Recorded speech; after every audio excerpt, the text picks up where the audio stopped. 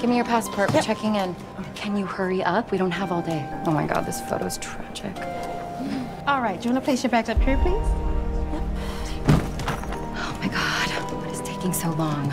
Oh, no, no, no. You're not on this flight. Our flight was full, so I put you on one that leaves in four hours. In economy. Why did you guys have me get here so early? Out with the bags, silly.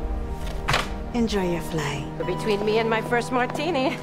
uh, is there an on switch for you? My flight doesn't leave for another few hours, so. Really? Why are you here so early? In case you needed help with bags. Strong choice. Way to kiss ass. Let's move. I don't know how you put up with those three. If I have to wait, then that's what I'll do.